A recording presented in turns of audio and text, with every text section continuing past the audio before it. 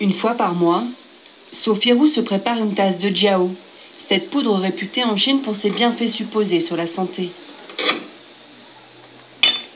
Boissons, gâteaux, les modes de consommation sont multiples pour ce produit à base de gélatine d'âne. Je l'ouvre, je vous montre. Ça, c'est de l'eau pur. C'est pas bon.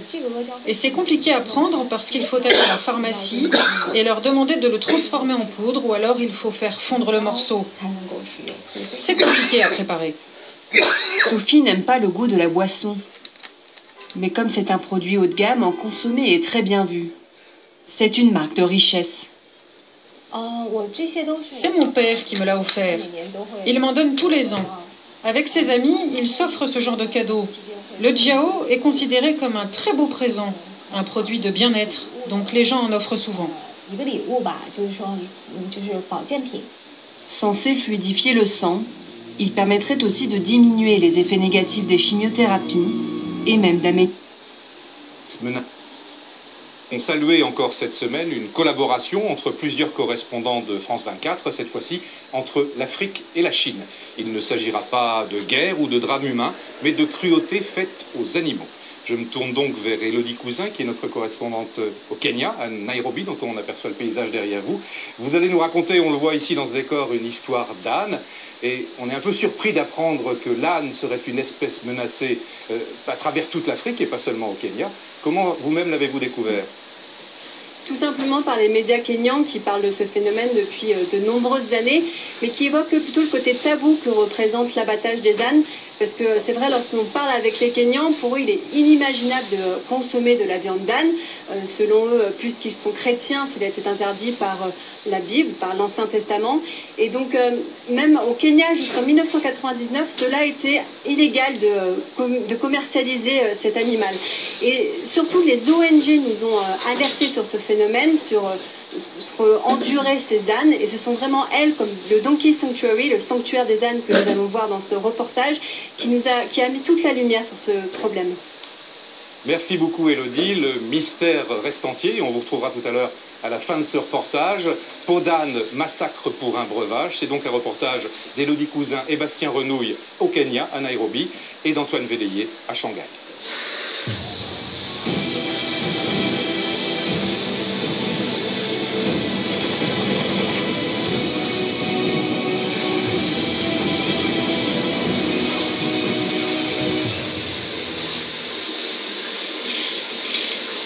Fois par mois, Sophie Roux se prépare une tasse de jiao, cette poudre réputée en Chine pour ses bienfaits supposés sur la santé. Boissons, gâteaux, les modes de consommation sont multiples pour ce produit à base de gélatine d'âne. Je l'ouvre, je vous montre. Ça, c'est de l'eau pur. C'est pas bon. Et c'est compliqué à prendre parce qu'il faut aller à la pharmacie et leur demander de le transformer en poudre ou alors il faut faire fondre le morceau. C'est compliqué à préparer. Sophie n'aime pas le goût de la boisson. Mais comme c'est un produit haut de gamme, en consommer est très bien vu. C'est une marque de richesse. C'est mon père qui me l'a offert. Il m'en donne tous les ans. Avec ses amis, il s'offre ce genre de cadeau. Le jiao est considéré comme un très beau présent, un produit de bien-être, donc les gens en offrent souvent. Censé fluidifier le sang, il permettrait aussi de diminuer les effets négatifs des chimiothérapies et même d'améliorer la libido. L'économie de la Chine est en croissance constante depuis plus de 40 ans. Le développement du pays a favorisé l'émergence d'une classe moyenne d'environ 130 millions de personnes. Ce sont elles qui consomment le plus de produits de bien-être. À Shanghai, les commerces spécialisés ont fleuri.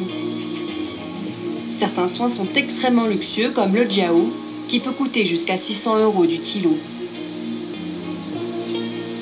Dans ces bureaux, des nutritionnistes donnent des conseils sur Internet. Un commerce très lucratif. Le e-commerce se développe très vite en Chine et quand on cherche sur le site internet le plus connu, on peut voir toutes sortes de produits de Jiao. On voit que ça se vend très bien. Le produit le plus vendu a été acheté plus de 36 000 fois par mois. Les ventes ont explosé depuis 2010 grâce aux nombreuses publicités à la télévision et sur Internet. Une tendance qui relance l'intérêt pour ce remède qui avait quasiment disparu des étals. Le jiao est considéré comme un médicament car il est écrit dans le livre référence de la médecine traditionnelle chinoise depuis plus de 2000 ans.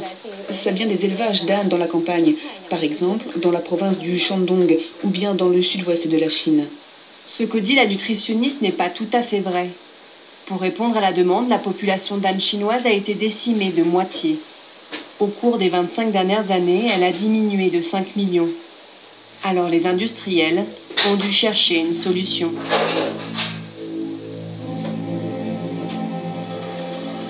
Ils l'ont trouvé à plus de 9000 km du bureau de la nutritionniste, en Afrique.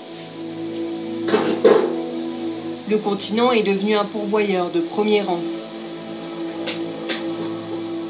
Nous retrouvons la trace de l'Ojiao au Kenya, avec ses 1,8 million d'ânes dans cet abattoir.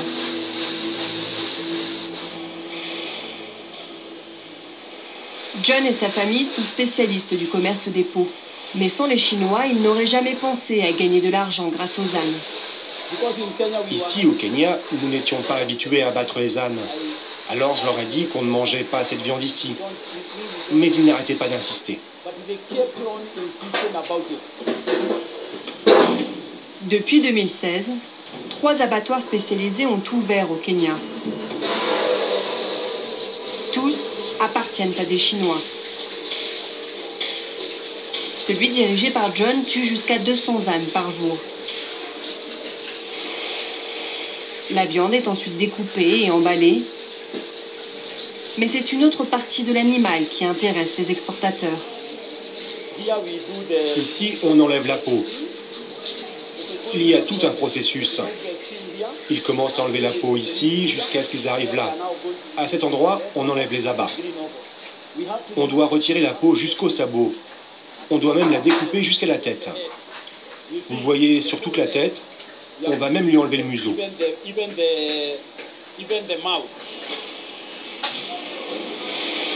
Il ne faut pas perdre un centimètre de peau. Avec un prix moyen de 8000 shillings, soit 65 euros, c'est la partie la plus chère de l'animal, celle qui est utilisée pour produire la gélatine nécessaire à la conception de l'ojiao. Impossible de filmer le processus de fabrication du remède. En Chine, les entreprises de transformation sont pour la plupart liées au Parti communiste et refusent les caméras.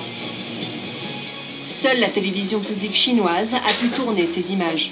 一张新鲜的驴皮要变成一盒成品阿胶，需要九十九道大工序，三百多道小工序，长口锅慢火细熬，整道流程下来需要足足八十天。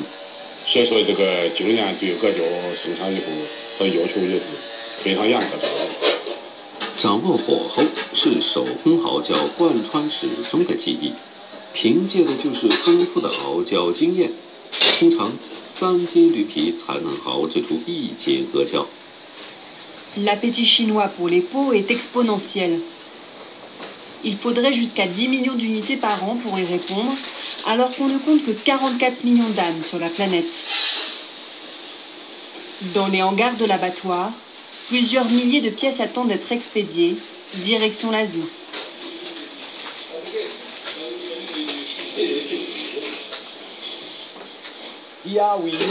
Ici, on utilise du sel industriel pour protéger la peau. Cela draine toute l'eau et le sang. Cela fait partie du traitement de la peau. Et grâce à ça, on peut la garder pendant un an sans qu'elle s'abîme. Mais John n'aura pas besoin d'attendre aussi longtemps. Il lui suffit d'un mois pour remplir un conteneur de 2500 pots. Une cadence trop rapide, les ânes kenyans ne suffisent plus aux industriels. À l'extérieur de l'abattoir, ces hommes l'ont bien compris. Ils sortent du circuit légal pour pouvoir fournir des animaux. On va les prendre chez les Maasai en Tanzanie. On doit aller les chercher à pied pour leur faire traverser la frontière et quitter secrètement le pays. Une fois au Kenya, on doit payer une taxe, mais c'est de plus en plus compliqué. Le président tanzanien ne veut plus exporter d'animaux. Pour sauver l'espèce, la Tanzanie a interdit l'abattage d'ânes en juin 2017, tout comme le Mali, le Sénégal et 11 autres pays africains avant elle. Le Kenya, lui, ne réagit pas. Pourtant, les témoignages d'abus se multiplient. Dans la campagne, à l'extérieur de Nairobi, une nouvelle menace pèse sur les fermiers. Les ânes sont essentiels pour le travail dans les champs. Mais les vols se multiplient. Vous voyez? Et ça, les Africains devront s'intéresser à faire des recherches parce que les Chinois, ils font ce qu'ils veulent en Afrique. Hein. Mais est-ce qu'ils le font partout en Afrique? Non. Il y a pas mal de pays africains qui disent stop à la Chine. Stop à la Chine. Parce qu'ils savent. Mais est-ce que les autres pays africains, ils savent vraiment qui est l'homme chinois? Mais l'homme chinois, excessivement dangereux dans toute la surface de l'Afrique. Et j'appelle nos ancêtres de commencer à frapper les Chinois en Afrique. Il faut que les ancêtres, nos ancêtres, les frappent. Parce que les Chinois, il faut commencer à les frapper en Afrique.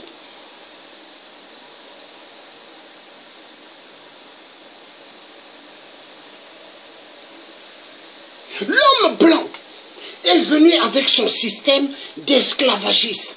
L'homme blanc a pris des noirs et les a menés. Aujourd'hui, c'est les Chinois. Répétition, l'histoire se répète. L'histoire, elle se répète. L'histoire hier de l'esclavagisme au XXIe siècle, elle se répète. Mais les Africains devront s'intéresser de parler des sujets clés très très importants. Les Ivoiriens doivent s'intéresser à parler des terres en Côte d'Ivoire et de l'Afrique. C'est important. Parce que euh, euh, en Côte d'Ivoire, il y a des, des Ivoiriens qui meurent. Meurent parce que les Chinois ont mis des engrais, or qu'au fait sur des terres africaines, or qu'au fait c'est du poison. Mais un poison excessivement dangereux, et qui extermine des Ivoiriens. Tout le temps, il y a des enterrements en Côte d'Ivoire. Les Ivoiriens meurent. Mais les Chinois, ils sont dangereux pour l'Afrique. Mais les Africains, quand ils voient les Chinois, vu les Chinois font des beignets aux crevettes, les beignets de la farine de peuple africain, hein, que nos mamans africaines faisaient, les beignets à la farine, les beignets à la banane. Les Africains ne s'intéressent plus à manger cela. Les Africains font quoi? Ils vont vers les Chinois qui vendent les beignets aux crevettes. Et ils sont contents. Voilà. L'Afrique va mal. Ah non, ça fait mal. Être africain, je vous dis, hein, c'est dur. Parce que si tu n'as pas une tête, tu peux péter les plombs.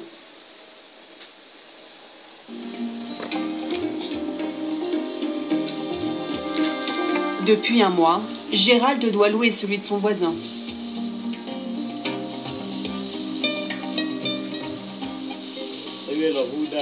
Je commence tout juste à utiliser cet âne, et vu que je ne suis pas son propriétaire, il ne m'obéit pas bien.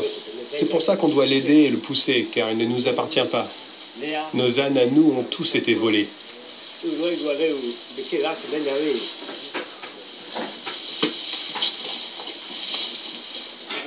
Les malfaiteurs utilisent toujours le même mode opératoire.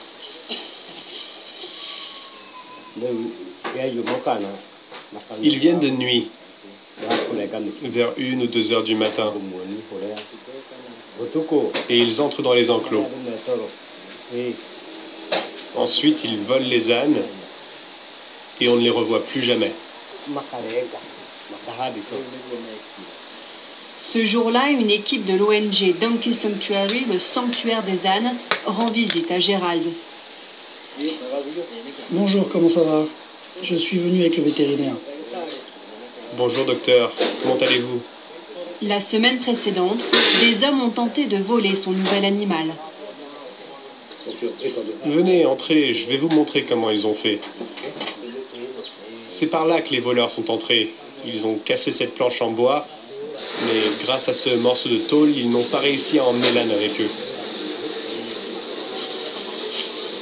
Seule preuve de leur passage, des couteaux qu'ils avaient avec eux pour dépecer l'animal. Gérald veut les montrer aux deux hommes. Cette fois-ci, j'ai entendu les voleurs et je suis sorti. Ça leur a fait peur et ils se sont enfuis. Ils ont abandonné ces couteaux derrière eux et ils sont partis.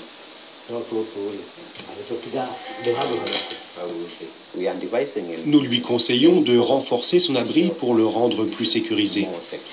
C'est pour ça que maintenant, il envisage des murs en pierre. Le fermier a déjà perdu trois bêtes. Il ne lui reste plus qu'un anon. Mais impossible pour lui de s'en occuper depuis que sa mère a disparu. C'est le sanctuaire des ânes qui en prend. Voilà, vous avez vu, à 2 heures du matin, des Chinois vivant en Afrique, hein, ils vont pour voler les ânes des paysans. Et ils ont des couteaux tranchants. Et ils décalent, ils prennent la fuite parce que les propriétaires, quand ils se lèvent, eux, ils fuient. Les Chinois font la même opération opératoire comme à l'époque de l'homme blanc. Quand ils volaient, ils volaient des Noirs pour amener. Et les Chinois font la même opération, mais tout en douceur. Alors les Africains, quand ils regardent les Chinois, ils disent les Chinois, bienvenue en Afrique, car ils viennent pour nous aider. Mais l'Africain, tellement il est abruti, abruti à cause de quoi? À cause de quoi? L'aliénation spirituelle, venant d'ailleurs, importée par l'homme blanc. Jésus-Christ aux yeux bleus, Jésus-Christ blanc, Jésus-Christ aux longs cheveux. Et l'Africain, tellement aliéné, abruti. Tout ce que l'homme chinois fait en Afrique, l'Africain dit c'est bon. Mais l'Africain, il faut faire attention, parce que vous ne faites pas attention. L'Afrique va disparaître. Regardez les paysans. On leur, on leur confisque leurs terres. Les terres de génération en génération. Au Gabon, il y a des Gabonais qui ont des terres grâce à leurs ancêtres, et génération en génération. Mais avec les Chinois, ils vont commencer à prendre les terres de génération en génération. Déjà les pygmées.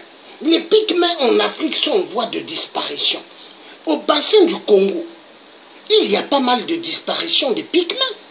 Pourquoi? À cause des Chinois. Les envahisseurs. Les Chinois, ils prennent les terres africaines. Et les Africains, ils sont quoi? En train de boire l'alcool. En train de regarder les belles femmes passer. Il n'y a que ça. Et être dans des super belles voitures. Est-ce que l'Africain est venu sur Terre pour boire, pour manger et être sur des belles, dans des belles voitures? L'Africain a un problème. L'aliénation totale spirituelle. Aujourd'hui, nous sommes dimanche. Regardez bien, toutes les églises vont être remplies. Ah non. Nous avons des amis qui sont en RDC. Mais deux fois, je me pose la question, pourquoi ces amis-là ne, ne, ne, ne, prennent pas leur téléphone et filment chaque ruelle où est-ce qu'il y a des églises à Kinshasa et qui nous envoient ces vidéos-là? Mais parce que c'est important. C'est important que ceux qui sont au Congo, Brazzaville ou au Gabon, ils prennent des vidéos, ils filment et ils nous envoient des églises. Parce que les églises ont abruti l'homme noir. Est-ce que les Chinois sont dans des églises? Non. Les Chinois cherchent les minéraux. Les Chinois cherchent à voler les ânes des paysans. Les Chinois cherchent à faire ce qu'ils veulent en Afrique. Ils mangent même l'être humain en Afrique. Et l'Africain, il ne sait pas que le Chinois est un double Ali Bongo en Afrique. Parce que les Chinois, il faut les appeler Iboubou. Ils sont comme Ali Bongo. Ils mangent l'être humain.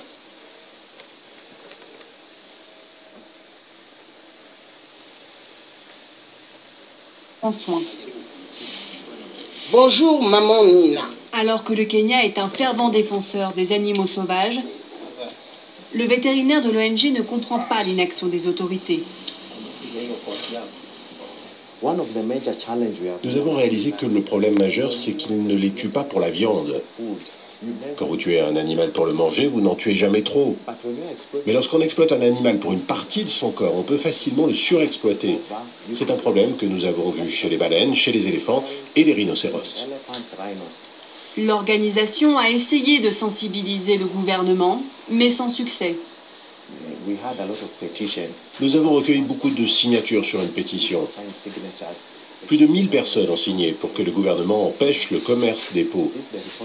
Ils ont publié ce rapport qui montre ce qui s'est passé entre les années 2014 et 2016. Sur cette période, près de 100 000 peaux ont été envoyées en Chine. Le gouvernement, qui refuse de commenter la situation, n'a pris aucune mesure pour protéger ces animaux. Au contraire même, selon nos informations, un quatrième abattoir est sur le point d'être autorisé. À ce rythme-là, le sanctuaire des ânes estime que l'espèce pourrait disparaître du Kenya d'ici six ans. On retrouve donc Elodie Cousin à Nairobi au Kenya. Merci beaucoup pour ce reportage. La première question qui nous vient à l'esprit, évidemment, c'est plutôt du côté chinois. Ce fameux Zhejiao, cette euh, potion magique que l'on voit cette jeune femme consommer ici, est-ce qu'il y a une quelconque étude scientifique qui valide ses qualités euh, thérapeutiques pour toutes les raisons qu'on a vues? Évidemment, ça la dépend selon qui. Pour les Chinois, l'efficacité n'est plus à trouver puisque le jiao est présent dans les livres de médecine traditionnelle depuis plus de 2000 ans. Mais euh, nous, nous avons essayé de trouver euh, des euh, preuves, des, des, études internationales qui seraient un peu sérieuses et ça a été assez difficile à trouver. Nous avons seulement trouvé dans un journal de médecine japonaise des chercheurs qui ont étudié et qui ont pu prouver que la consommation de jiao euh, chez les personnes anémiques et notamment chez les femmes enceintes qui avaient des maladies de sang, et eh bien chez ces euh, femmes-là, consommer de jiao pourrait permettre l'amélioration de leur santé. Oui, ça reste quand même un, peu du domaine de l'aileron de requin ou de la corne de rhinocéros. Alors vous nous avez dit tout à l'heure que euh, les, Africains en général ne consomment pas la viande d'âne, ce n'est pas, une viande consommée usuellement. En revanche, les agriculteurs en ont un besoin précieux et on voit bien qu'il y a de plus en plus de vols ou de subtilisation d'âne auprès des agriculteurs. Quelles sont les conséquences pour eux? Bah oui, imaginez-vous, vous habitez dans un milieu rural où euh, il n'y a pas de voiture, pas de moto, bref, euh, aucun moyen de, locomotion, et où l'âne est le seul moyen pour vous pour pouvoir euh, faire votre, vos tâches quotidiennes, comme aller chercher de l'eau à 10 km de chez vous, ou bien aller chercher vos récoltes de maïs et, de blé. Et un jour, vous vous levez et vous retrouvez votre âne abattu, il ne reste plus que la carcasse, bien, qu'est-ce que vous faites Évidemment, c'est une tragédie pour ces agriculteurs d'un point de vue social, d'un point de vue de leur travail, puisqu'ils perdent leur seul moyen de locomotion. Et euh, d'autant plus que depuis trois ans, euh, ce business a fait tripler le prix de l'âne. Désormais, il coûte plus de 200 euros. Et donc pour ces agriculteurs, il est impossible de s'en racheter un nouveau, de pouvoir avoir un nouvel animal. On imagine, Elodie, que c'est précisément pour ces raisons que plusieurs pays en Afrique, vous le mentionnez aussi, ont interdit la commercialisation et l'exportation des peaux d'âne. Pourquoi ce n'est pas le cas du Kenya? Le gouvernement n'est pas naïf, il est euh, conscient qu'il y a un problème d'abattage au Kenya. Mais le problème, c'est qu'il y, a trop de côtés euh, positifs à ce business. D'abord, en termes d'emploi, euh, c'est vrai que par exemple, à Naevacha, dans l'abattoir où nous sommes allés à Star Brilliant, le directeur, juste depuis l'ouverture, a réussi à embaucher plus de 200 personnes, ce qui est donc quand même assez conséquent. au niveau des recettes fiscales aussi, cela rapporte beaucoup d'argent, puisque pour exporter un âne, il faut payer 80% de taxes Cela représente donc des millions d'euros pour le gouvernement. Et enfin, tout simplement parce que le Kenya a des liens très forts avec la Chine. Euh, lorsque le président Uhuru Kenyatta a été euh, jugé par la Cour pénale internationale, la Chine était la seule à encore investir dans le pays. Et euh, encore aujourd'hui, les grands projets d'infrastructures sont financés par les Chinois. Le Kenya a donc aucun intérêt à se fâcher avec eux. Merci beaucoup Elodie pour la qualité de cette enquête que vous avez menée à Nairobi avec Bastien Renouille et du côté de Shanghai avec Antoine Védéier. C'est la fin de ce numéro de reporter. On se retrouve évidemment la semaine prochaine pour un nouveau reporter sur France 24.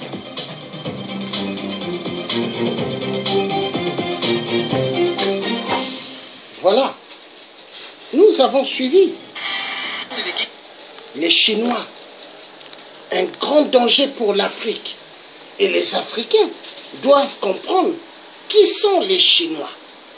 Parce qu'ils sont partout. Ils sont partout, dans les minéraux en Afrique. Mark Shingtong, ils sont là. Au Katanga, les Chinois, ils sont là-bas. Il n'y a pas que l'homme blanc au Katanga. Pas mal de Chinois. Au Kivu, rempli de Chinois. Ils sont à la recherche des minéraux. Les Chinois, ils sentent même les minéraux à partir des narines. Ils n'ont pas besoin de machines, hein, à partir juste de leur nez. Car les Chinois, regardez les yeux qu'ils ont. Hein? On dirait on dirait des sirènes. Les Chinois sont les fils des sirènes, au fait. Sont les enfants des sirènes. Parce que regardez les yeux qu'ils ont. Même les narines. Les Chinois, est-ce qu'ils respirent la même air que nous respirons? Je ne pense pas. Hein. Parce que pour les Chinois, ils croient que eux, ce sont des dieux. Et les Africains doivent maintenant fermer leurs barrières à la Chine. Les Africains doivent dire non à la Chine. Les Africains doivent dire chinois. Rentre chez toi en Chine. Mais c'est important. Les accords que les dictateurs ont signés avec des Chinois. Nous, nous devons dire on ne reconnaît pas. Monsieur chinois, madame chinois, rentre chez toi en Chine. Ça doit être comme ça. Merde alors. L'Afrique, les Chinois sont là-bas en train de voler, ils font ce qu'ils veulent. Mais c'est quoi ça? Les terres, les paysans n'ont plus de terres. Hein L'Africain, il faut qu'il se réveille. Hein? L'Africain doit se réveiller. Parce que l'Africain croit que son problème, ce n'est que Hippolyte Kanambe. Mais non Kabila est la marionnette des pays occidentaux. Mais il n'y a pas que l'occupation des Occidentaux, il y a l'occupation chinoise en Afrique. Et l'occupation chinoise, elle est très dangereuse. Hein. Les Shanatons, Xing Chong Xing, attention. Hmm? Regardez les chiens, comment ils mangent les chats. Je vais vous montrer tout juste un petit truc sur les Chinois. Vous allez voir comment ils exterminent les chats en Chine. Hein? Juste vous faire voir un petit bout, vous allez voir. Et vous croyez que les Chinois, ils sont en Afrique pour que nous ayons un luxe en Afrique? Mais des gens dangereux. Manifestant le festival ce lundi de Yulin consacré à la dégustation de viande de chien. Ces animaux sont tous volés, déplorait cette militante. Pourquoi commettre ces crimes et violer la législation sur la sécurité alimentaire? Ils nous volent nos banderoles au lieu de faire ce qu'ils ont à faire. La Chine n'interdit pas de consommer de la viande de chien, mais cet événement organisé pour le solstice d'été fait face à une opposition croissante de défenseurs des animaux.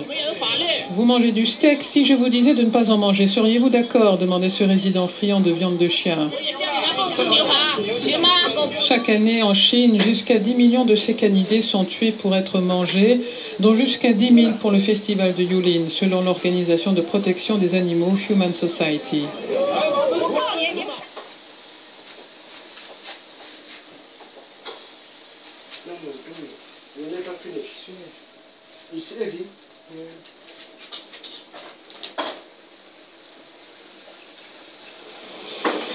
Paris 19e arrondissement. Dans cet immeuble, chaque week-end, le même rituel. Mourad, locataire. Voilà. Excusez-moi, j'étais en déplacement. Donc, je veux faire voir un autre